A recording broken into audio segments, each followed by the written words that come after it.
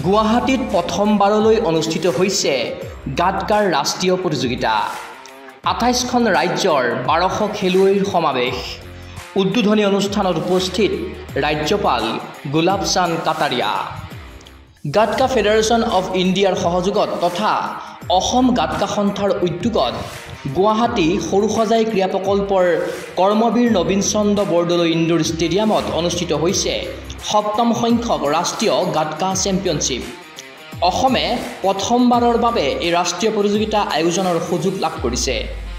ছয় আগষ্টলৈকে অনুষ্ঠিত হ'ব লগা এই ৰাষ্ট্ৰীয় টুৰ্ণামেণ্টৰ শুক্ৰবাৰে অনুষ্ঠিত হ'ল উদ্বোধনী অনুষ্ঠান। বাৰেৰহণীয়া সাংস্কৃতিক অনুষ্ঠানত জীপাল হ'ল কৰ্মবীৰ নবীন চন্দ্ৰ বৰদলৈ ইণ্ডোৰ ষ্টেডিয়াম। গাটকা ক্ৰীড়াৰ ডেমনষ্ট্ৰেশ্যন এই উদ্বোধনী অনুষ্ঠানতে কৰা হ'ল। অসমকে ধৰি আঠাইছখন ৰাজ্যই অংশগ্ৰহণ কৰা প্ৰতিযোগিতাখনত সমাৱেশ ঘটিছে প্ৰায় বাৰশগৰাকী গাটকা খেলুৱৈৰ চাৰিটাকৈ শাখাত গাটকাৰ প্ৰতিযোগিতাসমূহ অনুষ্ঠিত হৈছে। অসমৰ প্ৰায় এশ বাৱন্নগৰাকী খেলুৱৈ এই প্ৰতিযোগিতাৰ শ্ৰেষ্ঠত্বৰ দৌৰত হৈছে অৱতীৰ্ণ। এই প্ৰতিযোগিতাৰ পৰা গোৱাত অনুষ্ঠিত হ'ব লগা সাতত্ৰিছ সংখ্যক ৰাষ্ট্ৰীয় গেমছৰ বাবে ল'ৰা আৰু ছোৱালীৰ মুঠ ষোল্লটা দল বাছনি কৰা হ'ব। প্ৰতিযোগিতাৰ সন্দৰ্ভত জনালে অসম গাটকা সন্থাৰ সভাপতি তথা বিধায়ক হেমাংগ ঠাকুৰীয়াই। মই প্ৰথমতে ধন্যবাদ জ্ঞাপন কৰিছোঁ গাট্টা ফেডাৰেশ্যন অৱ ইণ্ডিয়া। তেওঁলোকে প্ৰথমবাৰৰ কাৰণে অসমক আমাৰ অসমৰ দৰে এখন ৰাজ্যক তেওঁলোকে gatka seven national gatka championship আয়োজন কৰাৰ কাৰণে তেওঁলোকে কৰ্তৃত্ব প্ৰদান কৰিছে। আমি গাটকা এছ'চিয়েশ্যন অৱ আছামে এই কৰ্তৃত্ব লাভ কৰিছোঁ। আৰু এজন প্ৰেচিডেণ্ট হিচাপে গাটকা এছ'চিয়েশ্যন অৱ আছামৰ মই ধন্যবাদ জ্ঞাপন কৰিছোঁ। মাননীয় মুখ্যমন্ত্ৰী মহোদয় তেওঁৰ সহযোগত আজি আমি ছেভেন নেশ্যনেল গাটকা চেম্পিয়নশ্বিপছ আয়োজন কৰিবলৈ আমি সাহস গোটাইছোঁ। আৰু লগতে আমাৰ স্পৰ্টছ মিনিষ্টাৰ নন্দিতা গাৰ্ডছাকো আমি ধন্যবাদ জ্ঞাপন কৰিছোঁ।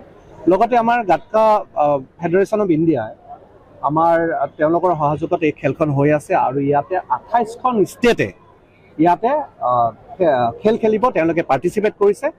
আৰু যি আমাৰ নেশ্যনেল গেমছ আছে গোৱাত তাত এই যি নেশ্যনেল গেমছ গোৱা হ'ব আপকামিং যি নেশ্যনেল গেমছ এই গোৱাৰ টীমটো যি ষোল্লটা ষোল্লখন ষ্টেটক তাত খেলাৰ পাৰ্টিচিপেট কৰাৰ সুযোগ দিয়া হ'ব।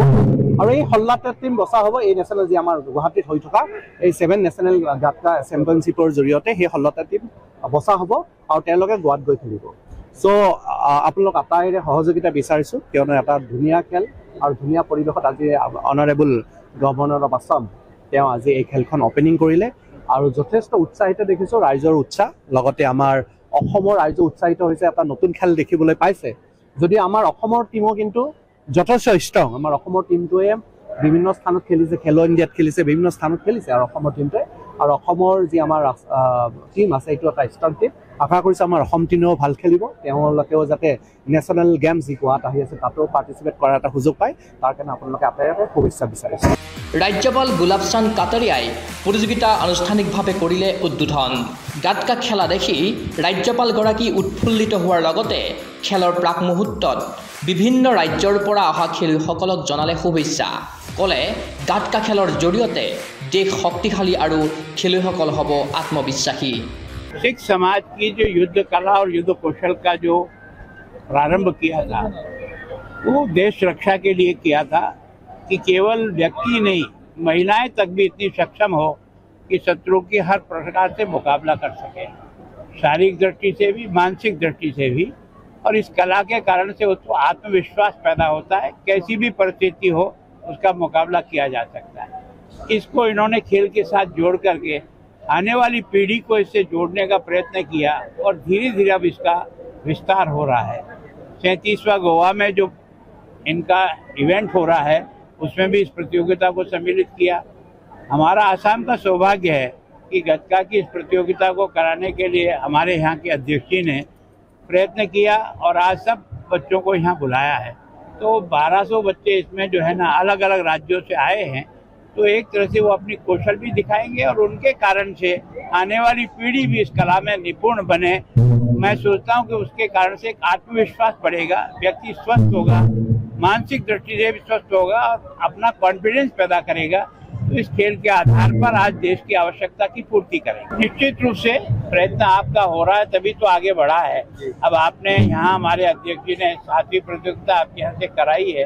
हमारे यहाँ के मुख्यमंत्री जी की भी बहुत खेल में और विभिन्न प्रकार की एक्टिविटीज में बहुत रुचि रहती है निश्चित रूप से आसाम इसमें अगुवाई करेगा ইফালে প্ৰতিযোগিতাৰ উদ্বোধনী অনুষ্ঠানত উপস্থিত থাকিল গাটকা ফেডাৰেশ্যন অৱ ইণ্ডিয়াৰ সম্পাদক বলজিন্দৰ সিং টুৰ অসমত প্ৰথমবাৰৰ বাবে অনুষ্ঠিত এই ৰাষ্ট্ৰীয় প্ৰতিযোগিতাক লৈ আশাবাদী সম্পাদকগৰাকী आज असम में जहाँ पे सातवीं नेशनल चैंपियनशिप जो कि गतका फेडरेशन ऑफ इंडिया की तरफ से और असम गतका एसोसिएशन जो इसको होस्ट कर रही है तो बहुत बढ़िया से इसकी इनोग्रेशन हुई। अभी इस चैंपियनशिप में 1200 के करीब हमारे पास प्लेयर पहुँचे हैं और लगभग पूरे इंडिया से अभी प्लेयर रहे हैं लड़के और लड़कियों की अंडर 11 से लेके अंडर 20 एज ग्रुप तक। ये सात आठ एज ग्रुप है, सभी के लिए यहाँ मुकाबले होंगे और बढ़िया देखने को मिलेगा। पहले हमारे नॉर्थ इंडिया में, पंजाब, दिल्ली, चंडीगढ़ में ये नेशनल होती थी और फ़र्स्ट टाइम है कि हम जहाँ असम में ये करवा रहे हैं। इसलिए मैं बधाई भी देना चाहूँगा असम गतका एसोसिएशन को। और अभी गवर्नर साहब ने जो आशीर्वाद के रूप में जहाँ पे पहुँचे, उन्होंने बच्चों को भी संबोधित किया। तो लग रहा है इससे कि जो हमारा गतका है आने वाले समय में बहुत आगे बढ़ेगा। देखिए, फ्यूचर के लिए जैसे बाकी सभी गेम्स हैं, हम चाहते हैं कि जो हमारा जो सिख मार्शल आर्ट है ये भी उस जगह पे पहुँचे। जैसे अभी हमने पंजाब में इसकी ग्रेडेशन स्टार्ट करवा दी है। एआईयू में जो गेम आ चुकी है, खेलो इंडिया में जो गेम आ गई है, उसके बाद नेशनल गेम्स में इसको हम ले आए हैं। तो अगला टारगेट हमारा ओलंपिक का है। कि हम इस गेम को ओलंपिक तक लेके जाएँ। और ये जो हमारे भारत की धरोहर है, ये खाली एक गेम नहीं है तो मैं बोलूँगा कि ये सारी दुनिया को पता चलना चाहिए कि जो हमारे इंडिया का और स्पेशली जो पंजाब का जो हमारा मार्शल आर्ट है, इतना रिच है, इतना बढ़िया है तो सभी इसको खेलें। बच्चों के लिए यही है कि जो आए हैं, उनको बेस्ट ऑफ़ लक के बढ़िया से खेलें, अपनी अच्छी गेम दिखाएँ, खेल भावना से खेलें, क्योंकि जीत हार बना होता है।